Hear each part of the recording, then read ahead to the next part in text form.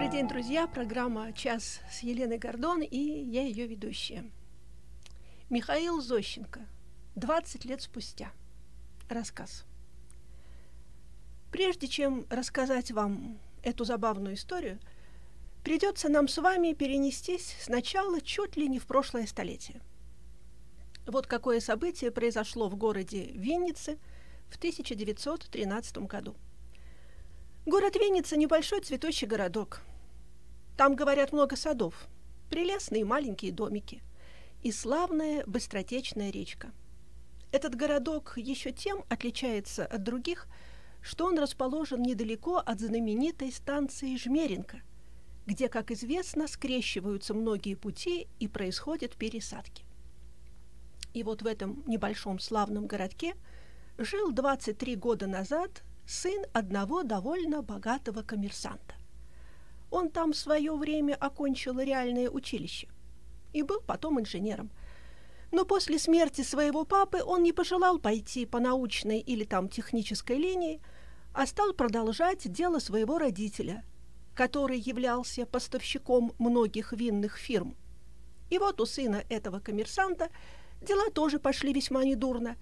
Настроение у него было прекрасное – Вскоре он там построил красивый двухэтажный дом в английском вкусе и через некоторое время женился.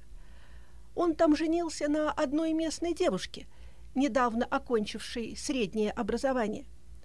Это была некая девушка-муза, смуглая красавица с круглыми щечками и с блестящими, как звездочки, глазами. Кажется, как будто мама у нее была румынка – и, может быть, поэтому она отличалась такой южной красотой. Ах, он исключительно ее полюбил.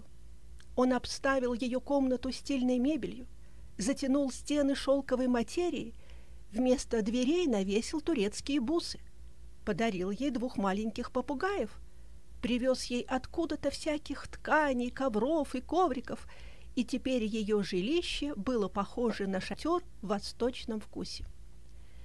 И молодая женщина была довольна, но не совсем. Она не слишком любила своего мужа и, может быть, отчасти пошла за него замуж по расчету. Она мечтала встретить какого-нибудь стройного и гибкого мужчину, а муж был немного толстоватый и слегка, как бы сказать, косопузый.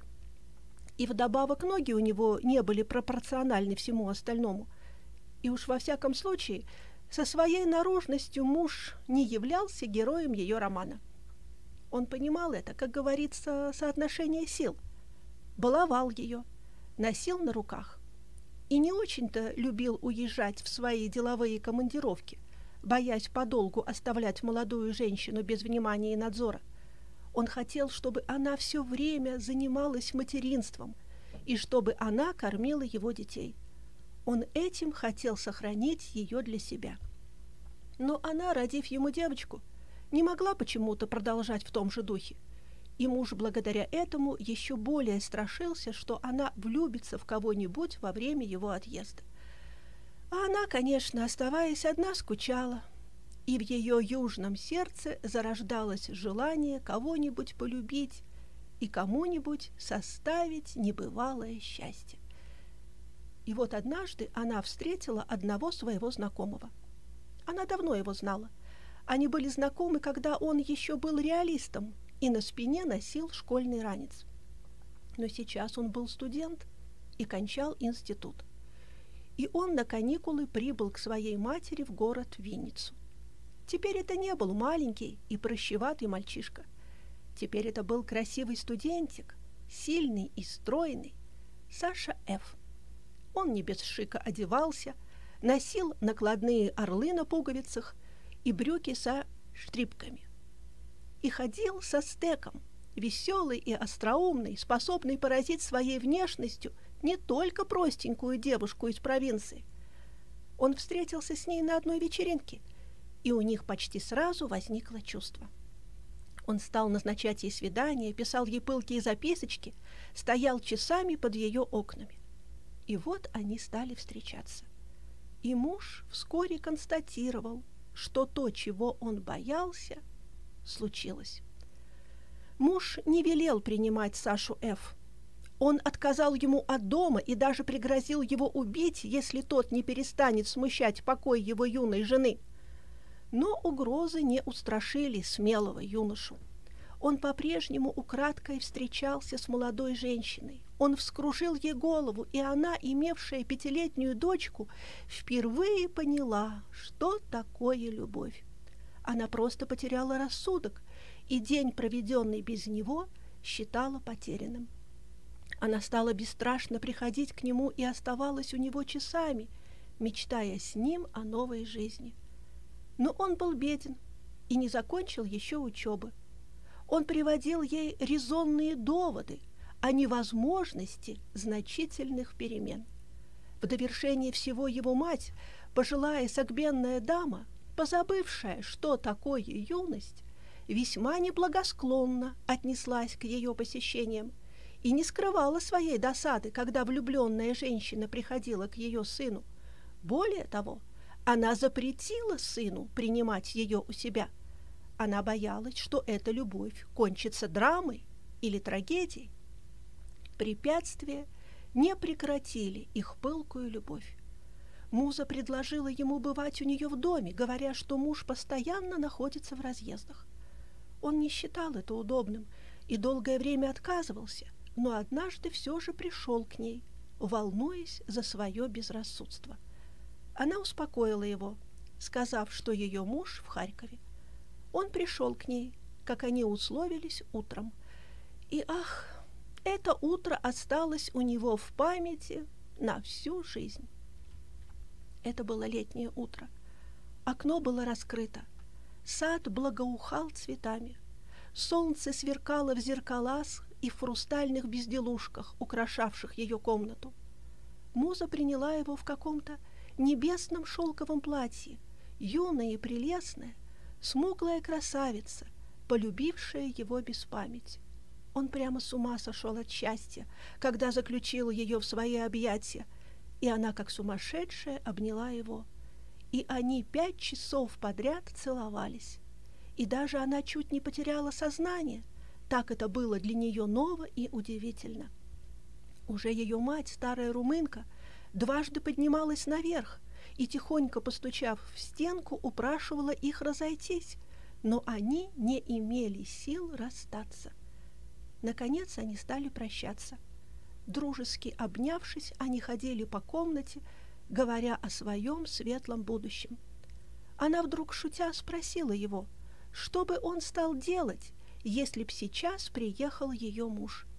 Он, смеясь, показал на свой расстегнутый ворот, на галстук и воротничок, брошенные на стуле. Он сказал, что он не трус, но он, конечно, не хотел бы ее компрометировать. И, поглядев в окно, выходящее в сад, сказал, что он отличный гимнаст, и ему не составило бы труда спуститься в сад по этим деревьям. Она похвалила его за благоразумие, хотя видно было, что ей хотелось бы услышать иное, более героическое, более смелое и мужественное. Так, гуляя по комнате, он вдруг увидел распечатанную телеграмму, лежащую на столике. Телеграмма была от мужа. Он извещал ее, что приедет в среду и посылал ей тысячу нежных поцелуев и свою страстную до гроба любовь. «Как он вас любит!» — ревнуя сказал Саша, с досадой бросая телеграмму. Но тотчас ее поднял и, вновь прочитав, не без тревоги сказал. «Но ведь сегодня среда, значит, он приедет сегодня». Муза подтвердила это. Она сказала, что харьковский поезд приходит вечером, так что не следует беспокоиться. Он назвал ее безрассудной, он сказал, что муж каждую минуту может приехать на машине или же каким-нибудь иным поездом. И он стал с ней прощаться. Но снова им было жаль расстаться. И они снова, к ужасу старой румынки, принялись за свои поцелуи. Вдруг они услышали внизу звонок и шум. И звонкий голосок ее пятилетней дочки пронзительно закричал «Папа приехал!». Муза страшно побледнела. Она, заламывая руки, сказала, «Боже мой, это приехал Илья. Он убьет тебя. Саша Ф., поцеловав ее трепетную руку, в одну секунду вскочил на подоконник и, притянув к окну ветку дерева, ловко, как обезьяна, повис на ней. Муза ахнула, всплеснув руками. Студент гибким движением молодого тела подался вперед и, хватаясь руками за ветки, благополучно спустился в сад. Внизу он помахал рукой молодой женщине, неподвижно стоявшей у окна, и скрылся в зарослях малины. Пробравшись сквозь малину к забору, он стал приводить себя в порядок и вдруг с ужасом увидел, что воротничок, галстук, фуражка и стек остались наверху, в ее комнате.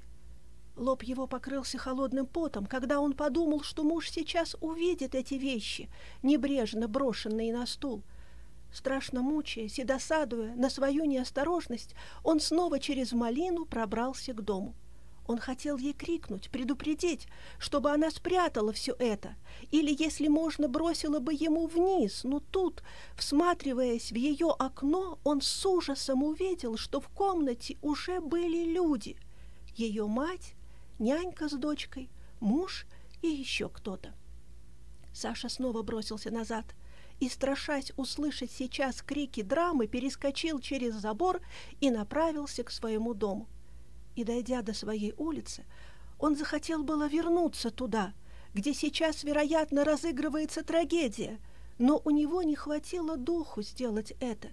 Ему показалось, что его возвращение было бы смешным и глупым и он стал успокаивать себя, говоря себе, что муза, вероятно, в последний момент успела сунуть в шкаф его оставленные вещи.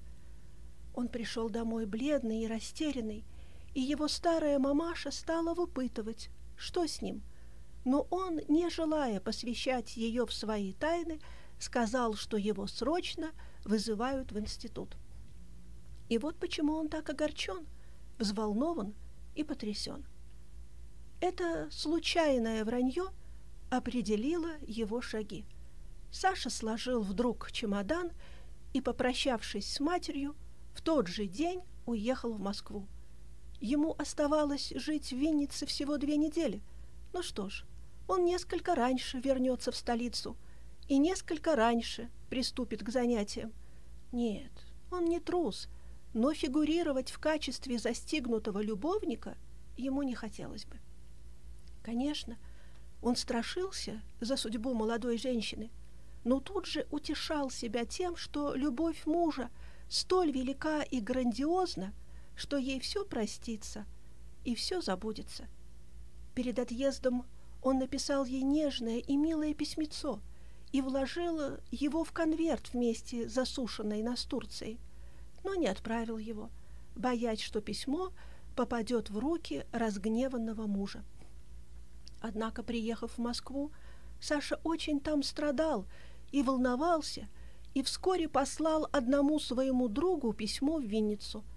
Он попросил приятеля разузнать, что с музой, и передать ей пламенный привет, его адрес и нежную просьбу написать ему хотя бы несколько слов но друг почему-то не ответил.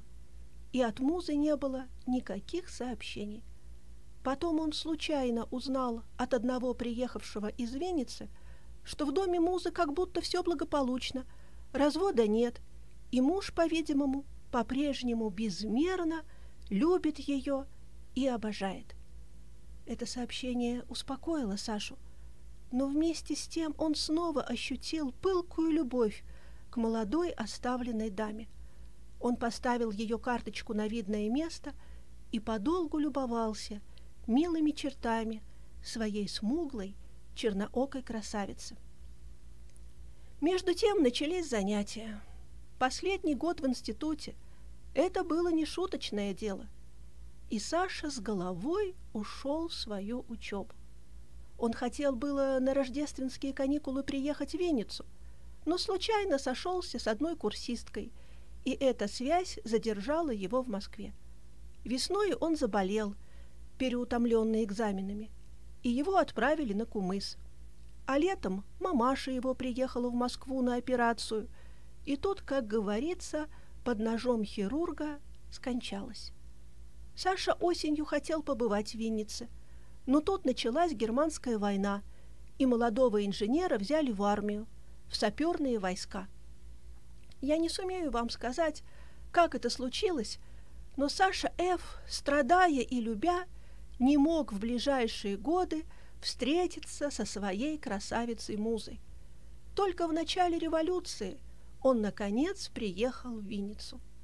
Со страшным волнением он вернулся в свой родной городок. И в тот же день он с отчаянием в сердце узнал, что муза с ребенком и мужем только что недавно уехали в Киев, бросив свой дом и свои дела на произвол судьбы. Это было понятно.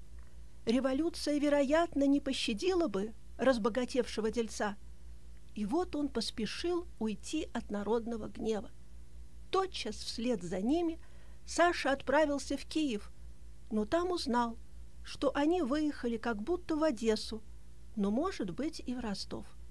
Саша хотел было поехать в Одессу, но узнал, что по пути к Одессе отрезаны фронтом гражданской войны. Тут молодой человек понял, что он потерял их след и, может быть, никогда больше ее не увидит. И он так заплакал, как будто ему было шесть лет, и бесчетно раз, целуя ее карточку, он дал себе слово до конца своих дней любить свою милую музу. Он вернулся в Москву и стал там жить. И вот давно уже отгремели выстрелы гражданской войны, новая жизнь победно шествовала по городам и селам. Саша Ф. был инженером, и он служил в Москве. Он давно женился, и у него теперь было двое славных детишек, и он в скором времени ожидал еще третьего младенца. Но в сердечных делах он остался верен своему чувству. Ее карточка, как святыня, стояла на его письменном столе, и он, вспоминая дни своей юности, подолгу любовался милым обликом и, печально вздыхая, восклицал «Ах, счастье с этой женщиной! Мне было так возможно!» Всю силу своего чувства он перенес в свою работу – он стал весьма крупным, выдающимся инженером, и год назад он получил в приказе благодарность за полезную деятельность. В прошлом году, летом, он немного заболел и решил полечиться. Его сорокалетнее сердце стало пошаливать, начались разные боли, спазмы и так далее. Его примировали двухмесячной путевкой в Кисловодск, и в августе он уехал туда с намерением заняться лечебными процедурами. Кисловодск в этом смысле чудный курорт. Там нарзан делает чудеса, обновляет кровь и восстанавливает слабые нервы. Два месяца подряд Саша принимал нарзанные ванны и ходил в горы, укрепляя этим свое уставшее сердце. Он великолепно поправился и чувствовал себя молодым, способным на безрассудство. Но он там никого не встретил, кем бы мог увлечься, и теперь не без охоты покидал курорт. В день отъезда он пошел в парк попрощаться с любимыми местами. Он пришел в нарзанную галерею. Ему там подали стакан нарзана, и он стал с чувством его пить, поглядывая на гуляющую публику. Вдруг рука у него дрогнула – Пальцы невольно разжались, и стакан с треском разбился, упав на каменный пол. Перед ним в двух шагах стояла муза Н со своим мужем. Она стояла около источника и тоже пила нарзан. Сердце замерло у Саши, когда он еще раз взглянул на нее. Она была, пожалуй, по-прежнему красива и эффектна, но она очень пополнела. Ах, где же эта тоненькая, смуглая красавица? Слишком полный ее стан Двойной подбородок и более крупные формы придавали теперь музе солидный, стареющий и немного обрюзгший вид. И только милые ее глаза, блестящие и яркие, как звездочки, сияли по-прежнему, так же, пожалуй, молодо и оригинально. Она взглянула на человека, уронившего стакан – и у нее в то же мгновение замерло сердце. И бывает же такое совпадение чувств. Рука у нее тоже дрогнула, пальцы разжались, и стакан, упав на каменный пол, вдребезги разбился. Рядом стоявший муж, стареющий и весьма полный, кособокий человек с инженерским значком на лацкане пиджака, с недоумением посмотрел, что случилось. И вдруг, всплеснув руками, он воскликнул. «Боже мой, муза! Да ведь это Александр Семенович, наш дорогой друг из Винницы!» Саша Ф. подошел к ним, и они стали пожимать друг другу руки, расспрашивая, волнуясь и смеясь от нахлынувших воспоминаний двадцатилетней давности. «Александр Семенович», — сказал муж, — Куда же вы, голубчик, тогда бесследно исчезли? Ну, правда, я вас немного ревновал, но мы с Музой очень огорчались вашему отъезду. Муза, улыбаясь, сказала, «В самом деле, Саша, куда же вы тогда делись?»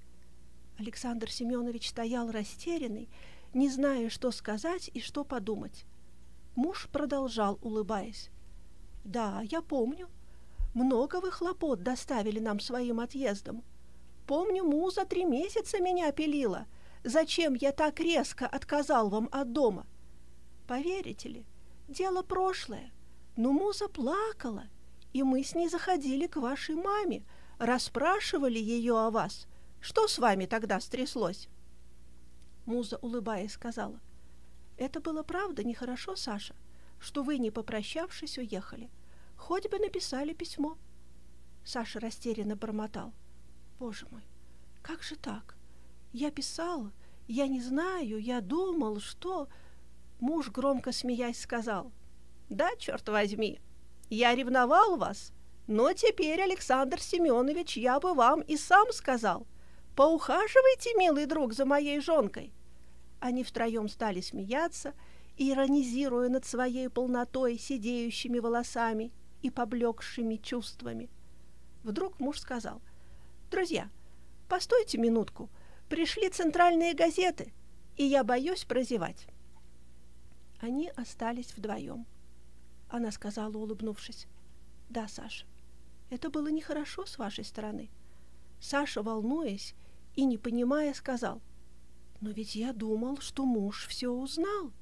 Я не хотела вам доставлять лишних страданий, Поверьте, я вас так любил.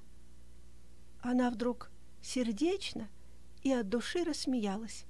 Она так засмеялась, что он не знал, что подумать. «Что вы смеетесь?» — грубо спросил он. Она сквозь смех еле могла сказать. «Слушайте, ведь тогда, помните, ну в тот день, когда вы были у меня, ведь это был не муж». «Как не муж?» — спросил Саша, ужасаясь. «Ну да», — сказала она, смеясь. «Это была телеграмма. Муж прислал мне телеграмму, что он задержался. Но ваша дочка...» Девочка ошиблась. Она на каждый звонок кричала «Папа приехал!» Я как сумасшедшая кричала вам из окна, чтобы вы вернулись, но вы соскочили со своего дерева и сразу исчезли. Она, сдерживаясь и кусая губы, смеялась. Ее подбородок дрожал, и плечи тряслись от хохота. «Но как же так?» — бормотал он. «Я думал, фуражка, воротничок, который я оставил...» Она, было перестав смеяться, снова захохотала так, что он подумал, что с ней истерика. Она сквозь смех еле могла сказать. «Как же вы, Саша?» Уехали в Москву-то без фуражки. Вы хоть бы зашли за фуражкой. Он, сам не зная, что говорит, сказал, «А куда же вы дели мой воротничок и фуражку?» «Ну, не помню, голубчик», — сказала она. Кажется, спрятала и сохранила на память. Он хотел выдавить на своем лице улыбку, но не мог и стоял смертельно бледный, дрожа от волнения. Она вдруг, увидев его в таком состоянии, перестала смеяться. Она сказала, «Простите, Саша, что я так смеюсь. Я вас очень любила». Он взял ее руку и стал целовать бормоча. «Боже мой, ну как же так? Какая комедия жизни! Я вас тоже любил и так ждал!» Тень прошла по ее лицу, и губы ее дрогнули, но она, одернув руку, сказала, «Муж идет, после поговорим». Муж подошел к ним, на ходу, на ходу разворачивая газету. Саша, взглянув на часы, пробормотал. «Ого, уже три, ведь через сорок минут отходит мой поезд». Они стали жалеть, что он уезжает. Они хотели, чтобы он зашел к ним, сыграть в преферанс. Как право жаль, что они встретились только сегодня. Саша поспешно стал прощаться с ними, и бледный и растерянный пошел в свой санаторий. Через полчаса он, по-прежнему взволнованный и потрясенный, сидел в вагоне. И когда поезд тронулся, Саша распаковал чемодан, нашел карточку музы. Он долго всматривался в дорогие черты и бормотал. «Ну как же так? Ну как же это могло случиться?» Вдруг снова – он ощутил в своем сердце любовь, но не к этой прежней тоненькой красавице, а к той женщине, которую он сейчас оставил в нарзанной галерее. Ее смех смутил его, а то он сказал бы ей больше о своем чувстве, о том, что все эти годы он помнил и любил ее. Он вдруг подумал, что он сейчас может сойти на станции и вернуться в Кисловодск. В это время поезд остановился в Есентуках. Саша стал судорожно упаковывать свои вещи, чтобы сойти тут, но поезд вскоре тронулся, и Саша остался. Он подошел к открытому окну бормоча. Как глупо все! Как все глупо! Потом вдруг сердце у него упало, когда он подумал, что ведь он даже и не знает, где и в каком городе они живут. В своем волнении, в своем поспешном прощании он даже не спросил ее об этом. И тут он снова, как и когда-то в Киеве, понял, что он потерял ее, и теперь уж, наверное, навсегда. Слезы показались на его глазах. Он снова метнулся к своим чемоданам, чтобы выйти в Пятигорске, и, подойдя к окну, сказал, «Как глупо все! Какая комедия жизни! Вот она, старость и увядание!» В минеральных водах он опять хотел было вернуться в Кисловодск, но носильщик, схватив его вещи, сказал, «Поспешайте, гражданин, Московский поезд сейчас отходит. И он покорно последовал за носильщиком. Но в поезде он успокоился, сказав себе, что он напечатает объявление в центральной газете с просьбой к Музе отозваться и написать ему. Эту историю Александр Семенович Ф. рассказал мне в сентябре 1936 года – Сейчас начало Нового года, но этого объявления я в газетах так и не видел.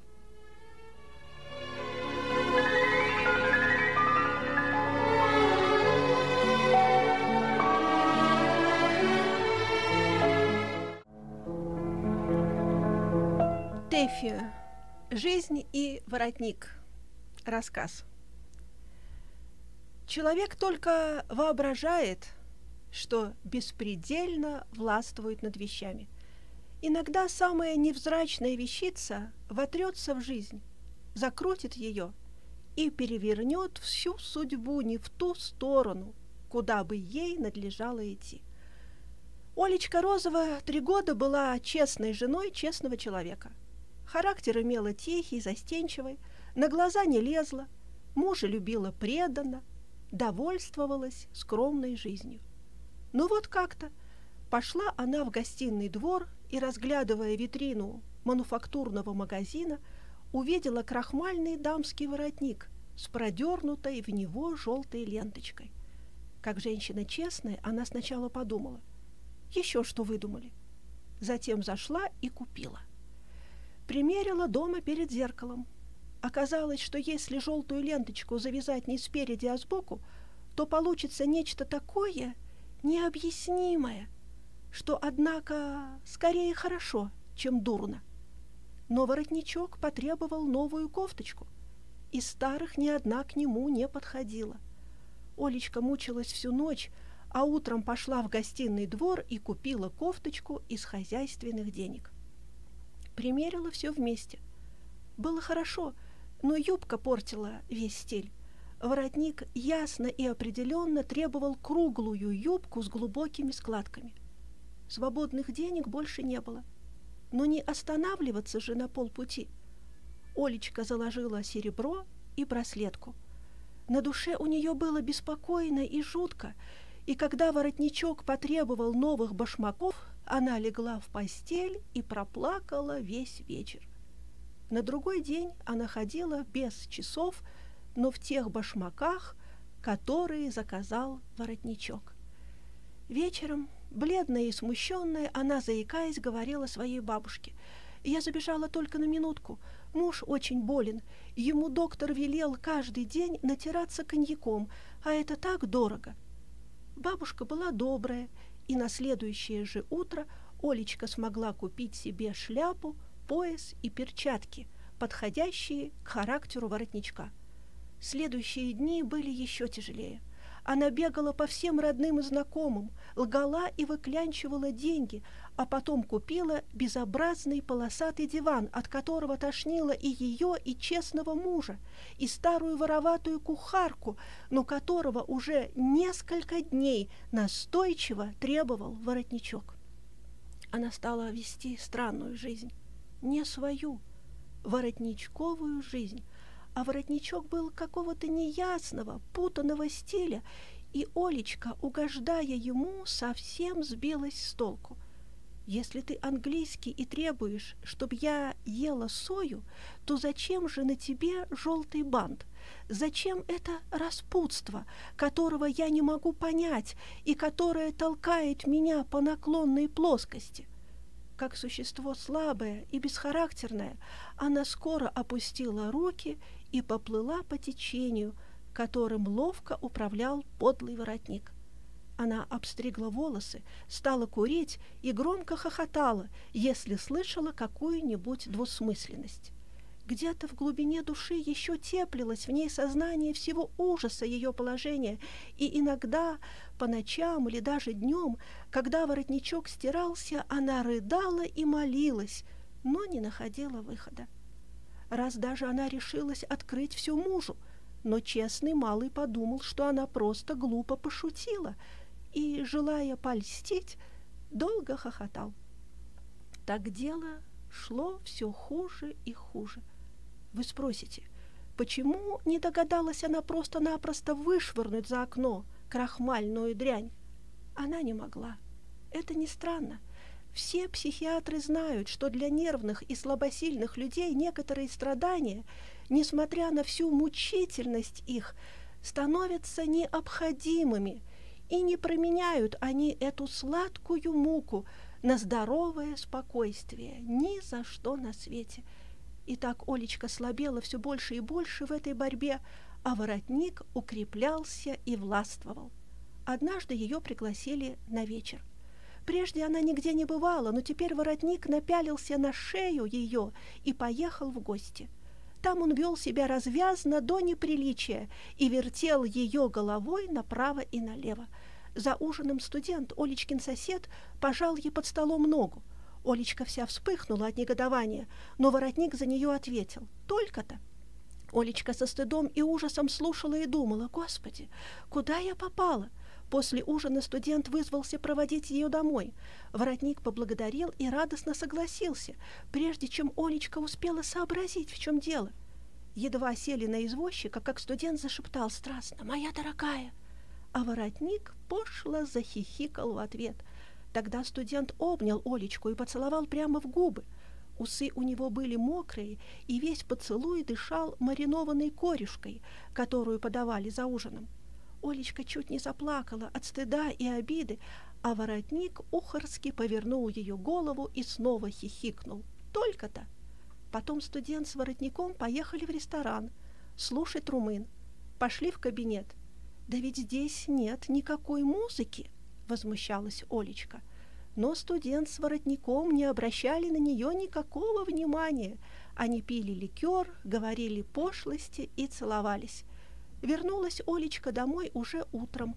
Двери ей открыл сам честный муж. Он был бледен и держал в руках ломбардные квитанции, вытащенные из Олечкиного стола. «Где ты была? Я не спал всю ночь. Где ты была?» Вся душа у нее дрожала, но воротник ловко вел свою линию. «Где была?»